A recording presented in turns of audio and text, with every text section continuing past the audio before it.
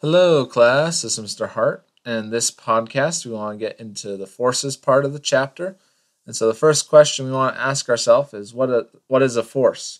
And so we use this word a lot. You may have been forced to do something or used force to get something done, or you may have forced an object out of your way or whatever it may have been. But we want to get a nice physics definition for the word force. Okay? And rather than have a written out description, the easiest way is just to visualize it. Okay? So I like to think of it like this a force is anything that can speed something up, slow something down, make it change direction, or rotate, or change its shape. Change its shape. Excuse me. Okay. So, for example, this you know soccer player he kicks this soccer ball. He's applying a force to make it speed up. Okay.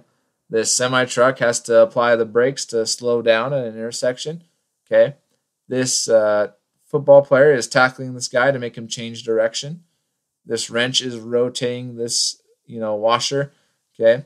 And this slinky is changing shape because of gravity, okay? So all these objects have a force applied to them, okay? And so a force is going to be something that either speeds something up, slows it down, changes its direction, rotates it, or changes its shape, okay? So just do a quick activity, okay? Think about all the forces that you can have in the room you're sitting in right now. Okay. You are probably sitting in a chair if you're watching this video, which means there's a force of gravity pushing on you. Okay. The chair is pushing on you. Okay. So you don't fall through it. Okay. You may need to stand up. When you stand up, you change shape. Okay. You may need to rotate your mouse or move your mouse. Okay. You are applying a force to it when you do that. Okay. You may need to change direction of where you're walking in case you may apply a force to the floor or to yourself or other things like that. Okay. You may need to open the fridge, which again changes its shape or rotates the door handle. Okay. So all those things are forces. Okay. They, you can, you know, I can't even list off all the forces you use in a day, right? But there's plenty of forces surrounding you. Okay. And you, again, use them all the time. And so there anything that does these five things. Okay. But we also understand what different types of force we have. Okay, so let's look at the different types of force. Um, one of the ones you're most commonly familiar with is gravitational force. Okay, this one you probably have known since you're a little kid. It's the force that causes things to fall, right? When you throw a ball up into the air, it's going to come back down. Okay, that's because of gravitational force. Force. That's the pull of the Earth pulling down on the ball. Okay, or any object really is the gravitational force. Okay, so simple enough. Everyone knows that one. Let's talk about some other ones that you may not know. Okay, there's the normal force. Okay, or another word for normal being perpendicular, the perpendicular force. Okay, and this is the force an object exerts that is perpendicular to the surface. So, for example, you lay a book on a table.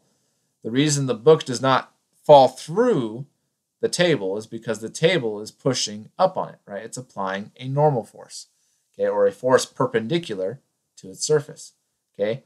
Again, you're probably sitting on a chair. The reason you don't fall through your chair is that it's pushing back up on you, so you don't accelerate through the chair. Okay, it's also the reason why you don't crash through the floor. Okay, it's also the reason your computer is not falling through the table or anything like that. Okay, that's because of the normal force. Now, this force, in some cases, isn't very strong, which causes the object to break. For example, if you had an elephant sit on your table, it probably would collapse, right? Because it cannot exert as much normal force as the elephant is putting weight on it or gravitational force. Okay. So if an object cannot put that much force on the other object, can't put that much normal force, then it will break. Okay. This is how you see those karate guys, you know, chop those boards in half. Okay. This is why you can rip a paper because you're exceeding the amount of normal force that object can put out. Okay. But again, any object, if you push on it, it will push a force normal to you, right? Or a force perpendicular to its surface. Okay, there are some other forces. Friction is a commonly known one. Okay, it's the force caused by resistance to movement across the surface. This also causes heat on both surfaces. Okay, so when you pull anything along the floor, okay, there's some, you know, very small, you know, roughness to the objects, but as those things move past each other, they're going to cause some friction, right? They're not going to be able to move perfectly, okay, because they're not perfectly smooth. So this is going to slow things down. It's going to generate heat and other things like that. Okay, if you rub your hands together, Okay, the reason your hands warm up is because of friction, right? Your hands aren't perfectly smooth, so when they rub back and forth, rub back and forth, they're going to generate some heat, okay, because they're hitting into each other. The molecules are hitting into each other, okay? But it's very good that we have friction because otherwise, everyone would be like this poor polar bear who's slipping on the ice, right? Because ice is pretty low friction. So if everything had no friction, okay, then we wouldn't be able to stand up. We wouldn't be able to, you know, sit in our chair. We wouldn't be able to put things on our desk without them sliding off. Okay, so it's very fortunate that we do have friction. Okay, we may think, oh, it slows everything down. Well, that's true, but things wouldn't work if we didn't have it. Okay, some other forces we want to know. Okay, there's the applied force. Okay, this is any type of force of striking or pushing on an object. Okay, um, striking a hammer to a nail is applied force. You know, punching a wall is an applied force. Shoving someone over is an applied force. Okay, simple enough. Any type of pushing or striking. Okay, then there's tension. Okay, this is for things like ropes or cords or strings. Okay, when you pull on that object, there's tension in the rope itself that is wanting it to pull back. Okay, there is spring or elastic force in certain types of springs and bungee cords, rubber bands. Anything that can stretch really far is going to have an elastic force with it, right? This is why when you jump on a trampoline, it you know bounces you back up and down. Okay, that's from the you know spring and elastic force. Okay, and the last one you want to know is the electric or magnetic forces. Okay, or electric and magnetic forces, right? This is why a magnet can hold on to metal. Okay, this is why you know they, certain charged objects will repel each other. Okay, because of electric and magnetic forces. Okay, so those are the main types of forces that we want to know for this class. So any type of force that you um, see around you is going to usually fall into one of those categories that we looked at. Okay? All right, and the last thing we want to cover is a very, very fundamental idea that we need to go through. Okay? That was discovered by Sir Isaac Newton. Okay, so Sir Isaac Newton, he was, you know, one of the very first, you know, recognized physicists in the world. Okay, and he published a book called the Principia, okay, which had basically all the fundamental physics that we know today. Okay, any entry level college you know physics book that you read, most of that book probably came from the Principia as far as the formulas and the ideas. Okay, they're all based on the foundations that Newton developed. But Newton had some very important ideas that are associated with force. Okay, which he called the laws of motion. Okay, then there were three of them. We want to know them. Okay, so Newton's first law says any object at rest will stay at rest unless a force acts upon it. Okay, most people would think that's true. Okay, but here's the cool part any object moving will continue moving unless a force acts upon it. Okay, this part's a little bit more, you know, uh, interesting to think about. Okay, but any object at rest will stay at rest unless a force acts upon it. That makes sense, right? If you're standing up, there's no reason for you to fall down. Okay, um, unless there's some other force that pushes on you. Okay, a you know chair that's sitting there is going to sit there. It's not going to move for no reason. Okay. But any object moving will continue moving unless a force acts upon it. Let's look at some examples of how this works, okay? So let's say, let's look at the game Corners, or I've heard some kids call it Jello, okay? But it's the game where you have a car and you're driving the car and the car takes a sharp turn, okay? And you have all the people inside the car, okay? And the people all when they get to the corner they will you know slide to the side and you know smush the guy that's on this side of the car okay well let's look why that why that is happening okay so these people are all moving forward right because the car is moving forward and so they want to keep moving in that direction well when the car gets to this point right it has changed its direction but the people in the car still want to go that same direction so the person right here he still wants to go this way the person right there still wants to go that way. The person right there still wants to go that way. And the person right there still wants to go that way. So what happens? These people on this side are going to smush into the people on that side. Okay, or in other words, they're all going to slam into the left side. Okay. So why is that? It's because of Newton's first law. You are continuing your motion. You want to keep going in the direction you were going. Okay. This whole idea is what we call inertia. Okay inertia. Newton's first law is known as inertia. You want to keep moving the direction you are moving. Okay. Now, some of you are saying, "Hey, this makes sense, but what about you know I have a calculator on my desk. When I push the calculator, it doesn't keep sliding across my desk. Okay. Well, that goes back to the forces. You have that calculator on the desk, right? You push it this direction. Well, but what force is resisting that movement? Well, it's friction, right? Friction is going to be pushing that way. And Newton's law says if there's no forces, right? And so that's why your calculator doesn't keep moving because there's a force that acts upon it. If your calculator was on a perfectly frictionless surface, it would keep going, it keeps sliding. Okay, but we have friction, which is what slows it down.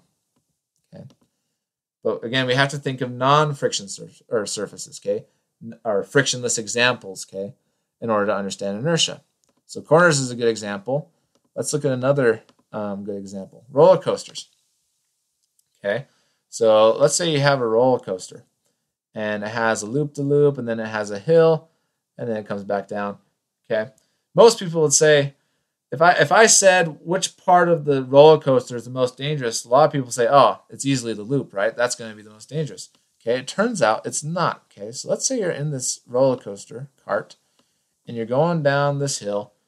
I'm going to draw your direction of motion in green. Okay, once you start going down this hill, this is the direction you want to go, right?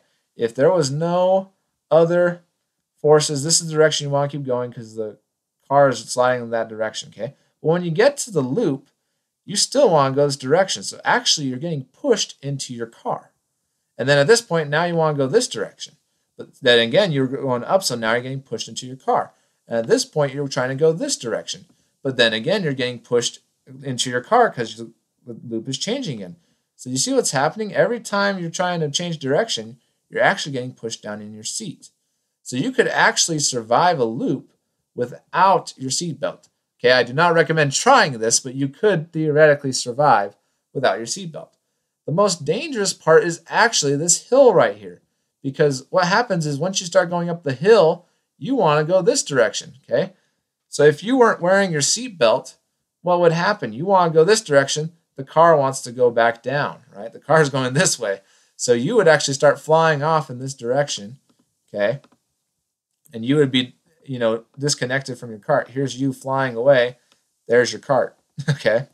So the most dangerous part of a roller coaster is not the loop, it's the hill because of inertia. You'll stay in your car on a loop because of inertia. You will not stay in your cart on a hill because you will fly off.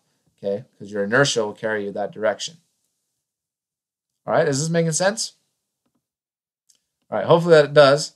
Um, again, but just a very important law to understand Okay, inertia. This idea you keep moving unless there's a force that acts upon you, right? That's why you wear your safety belt because that's the force that keeps you inside the car. Okay. The next one, the next law he came up with, Newton's second law, was just an equation basically. It says that the force equals the mass times the acceleration. Okay, and this is a very simple law. Okay, you just take the force that you are experiencing is equal to the mass of the object times how fast that object is going to accelerate. Okay, so mass times acceleration. So if I put a certain amount of force, I would expect a certain amount of acceleration. Okay, so this also explains why if you have, let's say, a big NFL lineman, okay, has a very large mass, okay, you need a very large force to move him, right? Because otherwise your acceleration is going to be very small. Okay you don't see you know little kids hitting over an NFL lineman, right? Because they have very small amount of force, so there's really no acceleration. He doesn't move. You need a very large person with a very large amount of force to move that guy, okay? Because you need a larger force for larger masses, and thus smaller forces for smaller masses, right? To get some acceleration. Okay, let's see if we can just do a quick example problem. So we say a car has an acceleration of 20 meters per second per second if the car has a mass of 400 kilograms, what is the force on the car? Okay, so very simple. Use F equals ma. This was our mass, or sorry, this was our acceleration up here. Here's our mass. Okay, so all we have to do is plug those in. Okay, so we say our acceleration was 20 and our mass was 400. That's going to give us a total force of 8 thousand. Okay, and in force, we use a special unit called newtons. Okay, which we represent with the letter N. Okay, but that's our total force, eight thousand newtons. Okay, if I remember correctly, is around 400 pounds of force. Okay, don't quote me on that. But um, again, we can just calculate this force just using the mass and acceleration. It's really simple. So if I had a larger car, I would need more force to get it accelerating. Okay? All right, so again, the second law is just this equation. And then the third law is this, that every action or force has an opposite and equal reaction. Okay? You probably have heard that before, but we can actually directly apply it to physics. Every action has an opposite and equal reaction. Or in other words, the force that object 1 puts on object 2 is the same force that object 2 puts on 1. Okay? And so this one can be really hard to understand sometimes, again, because we live in a friction based world, right? If we lived in a frictionless world, this would be kind of easy to see, but because we have a lot of friction and gravity and things like that, okay, this is hard to see. But the force on object one is the same as the force on object that, or sorry, the force that one puts on two is the same as the force that two puts on one. Okay, let's look at an example of this. Okay, let's say you're standing on a skateboard. Okay. So here's you. Again, I'm not the best drawer, so please forgive me. You're standing on your skateboard. Okay. Let's say you want, you're just standing there, the skateboard's not moving. And let's say you just want to get off your skateboard and walk off in this direction. Okay.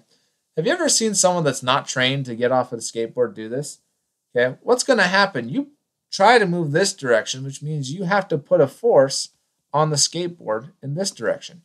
So as they try to walk off the skateboard, the skateboard slides out from under them because they're putting a force on the skateboard itself. Okay. And so the skateboard slides, they usually fall, they might trip or stumble a little bit. Okay, it's kind of funny to watch. But this is why Newton's third law. The force that they put, uh, the force that object one puts on two is the same force that two puts on one. Okay. In order to walk off the skateboard, you got to put a force on the skateboard, but the skateboard's also going to accelerate you out. Okay. So why doesn't this happen if you're just on a flat surface? Okay. Or, you know, if you're just on the floor, is there not a force that you apply on the floor? Well, there is, right? You still have this force pushing left on the floor, but the floor is attached to the ground, which is attached to the earth, which is a very large object. It's not going to accelerate very much. So this is why we don't notice this. Okay, you still have to put a force on that object for that force for that object to put a force on you. Okay, but we don't recognize this because the Earth doesn't shift or move every time we walk on it. Okay, because of again things like friction and the large mass of the Earth and gravity, we don't notice this. But the third law still applies. Okay, this is also why, let's say you're leaning on a wall. Okay, here's the wall. Okay, you're putting a force on the on the wall, okay? The wall is also putting a force on you in this direction. But the reason you don't move is because you have friction on the floor. Okay, the floor is keeping you in place so you don't move. Okay, if you were on an ice rink and tried to push on the wall, you'd start sliding away, right? On a frictionless surface, you'd slide, start sliding away. Or if you were in space and tried to push off a wall, then you would start sliding away. Okay, and again, the wall doesn't slide away because it's attached to the earth, which is very massive, so it doesn't move. Okay, so again, hopefully this makes sense. Um, again, there's lots of materials and videos to help you understand Newton's three laws, but we want to make sure we have these down. Okay, first law, the law of inertia. Okay, second law, F equals ma, and third law, opposite and equal reactions. Okay, make sure you understand those. Find videos on YouTube if you need to find more resources. Okay, but make sure you have these down. Okay. Let me know if you have any questions and thank you for watching.